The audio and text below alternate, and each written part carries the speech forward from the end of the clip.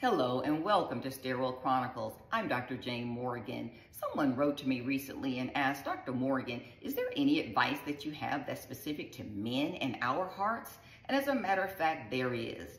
Did you know that erectile dysfunction is often the very first warning sign of heart disease in a man? In fact, 30 to 50% of men with erectile dysfunction actually have underlying heart disease.